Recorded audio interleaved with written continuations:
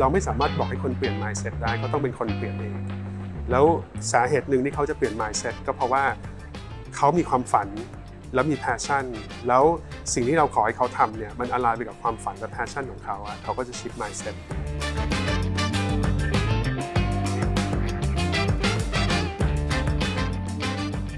ผู้บริหารองค์กรน่ะต้องชัดก่อนว่าเราเราจะไปสู่อนาคตเนี่ยอนาคตของเราอะคือหน้าตาเป็นยังไง แล้วประกอบด้วยอะไรบ้าง แล้วทำไมเราถึงต้องไป ก็จะคล้ายๆ กับชื่อหนังสือนะครับ Start with Why ก่อนอย่างสมมติว่าเอายกตัวอย่าง SCG นะครับเขาบอกว่าอนาคตของเขาก็คือ passion for better living นะครับก็แปลว่าอะไรก็ตามอะที่ทำให้คนเนี่ยมีชีวิตที่ดีขึ้นได้อะนั่นคือ passion ของเขา พออนาคตชัดกลับมาเริ่มที่คน แต่พอเริ่มที่คนเนี่ยต้องเริ่มที่ mindset ก่อนเลย อย่างแรกก็ต้องเข้าใจคนของเราก่อน generation แต่ละ generation เนี่ยผมว่าให้ความสำคัญของของผลของการทำงานนี่เหมือนกัน เอาแน่นอนเลย generation พี่ๆเนี่ยอาจจะยังติดอยู่กับภาพลักษณ์เดิมว่าเฮ้ยอยากได้งานที่มั่นคง อยากได้งานที่น่าภูมิใจมีหน้ามีตา อยากได้งานที่มีผลตอบแทนที่ดีใช่ไหมครับแต่ว่าน้องรุ่นใหม่ๆเนี่ยเขาไม่ได้มองหาอย่างนั้นอย่างเดียวเขามองหาเรื่องของ Impact เป็นหลักเขาอยากทำงานที่เขาได้รับโอกาส ได้รับการ empower เพื่อเขาจะได้สร้างสิ่งใหม่ ๆ ขึ้นมาได้ ราะฉะนั้น incentive มันเปลี่ยนรูปแบบไปแล้วมันอยู่ที่ว่ามันคือ generation ไหนใน context ไหน อย่างแรกเลยอะครับ เราไม่ควรจะ push คน ไม่ควรจะบังคับคน เราควรจะใช้วิธีการ pull ก็คือว่าให้เขาเห็น value แล้วเดินตามเรามาเอง ไม่ว่า impact ที่เขามองหาจะเป็นอะไรเนี่ย เราต้องแสดงให้เขาเห็นอย่างเป็นรูปธรรม ว่าเราช่วยเขาไปถึงจุดนั้นได้ ก็คือถ้าวายเราชัดเนี่ยคนอยากจะมาอยู่กับเรา คราวนี้สมมติว่าเขามาอยู่แล้วเนี่ยก็ต้องพูดถึงเรื่อง what และ how แล้ ว what ก็คือว่าอ่าแล้วสกิลแห่งอนาคตมีอะไรบ้าง ถ้าเราเทียบให้เห็นภาพเนี่ย specialist คือตัว I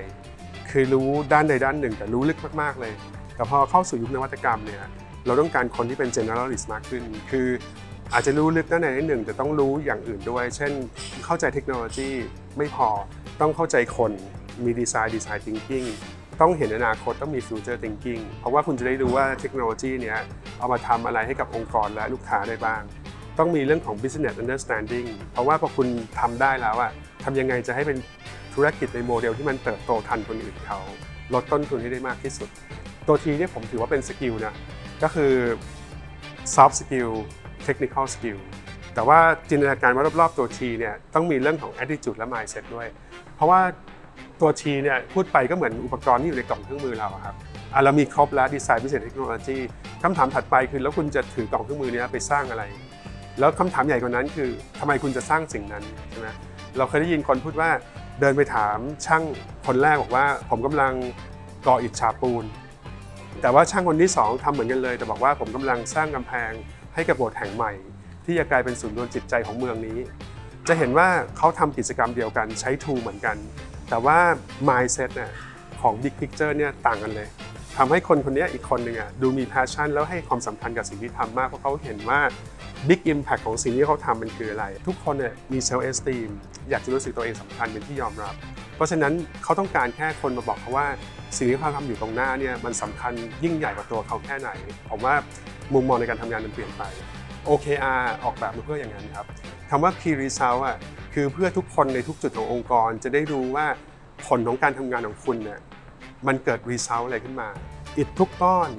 คือความงามความมั่นคงของศูนย์รวมจิตใจของเมืองนี้ที่จะอยู่ไปอีก 200 ปี แต่ไม่ได้แปลว่ามีคนใช้ KPI นะ เพราะเราก็คงไม่อยากจะแบบมีวิสัยทัศน์สร้างเมืองด้วยกัน แต่ว่าทำไป 5 ปีไอ้โบสถ์นี้ก็ยังไม่เสร็จสักทีเพราะฉะนั้น KPI เนี่ยคือ indication ของ performance เพื่อให้ความฝันที่จะทำขึ้นมาด้วยกันเนี่ยมันเสร็จได้ในเวลาที่ยอมรับได้ เพราะฉะนั้นยุคนี้ผมแนะนำว่าต้องใช้ทั้งสองอย่าง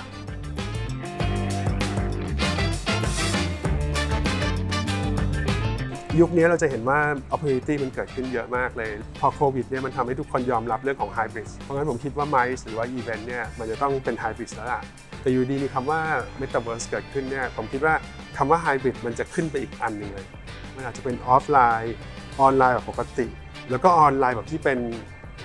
virtual metaverse อะไรอย่างเงี้ยเราจะ take advantage ของมันได้ยังไงบ้าง อย่างแรกเลยที่เราควรทำคือ extended journey ทำยังไงเราจะเริ่ม journey กับเขาได้ early pre-match event บนออนไลน์หรือ metaverse มาก่อนเลย แล้วคุณมาเจอที่ภูเก็ตคือคุณแทบจะรู้จักกันมาหมดแล้วอะแค่ว่าคุณมาเจอหน้ากัน แล้วคุณมามามาปิดกันที่นี่มาปิดการขาย สมมติว่าบางอย่างมันต้องจับต้องได้ บางอย่างมันต้องลองอะก็ถึงเวลาผมก็มาลองเลย เพราะงั้นในแง่ของ journey เนี่ยมันยาวขึ้น แล้วก็เพิ่มโอกาสการขายมากขึ้น แล้วก่อนกลับไปอะคุณคุณอยู่ให้ยาวขึ้นได้ไหมคือถ้าผมแบบเป็นคนต่างชาติแล้วมาแล้วรู้เลยนะว่าเดี๋ยวเดี๋ยวพอจบ summit นี่ปุ๊บเนี่ยผมจะไปตรงนี้ของกรุงเทพเลยได้พอจบตรงนี้เดี๋ยวผมจะไปภูเก็ตแล้วไปเชียงใหม่ต่อ ผมเห็นมาหมดแล้ว ผมไปเที่ยว virtual มาแล้วในเมตาเวิร์สมาแล้ว ถ้าพูดกันนี้ธุรกิจเม็ดเงินจะเพิ่มขึ้น เพราะว่าเราเรา increase customer lifetime value เนื่องจาก journey มันยาวขึ้นไม้ใช้คำว่า direct indirect แล้วก็ induce income ใช่ไหมครับ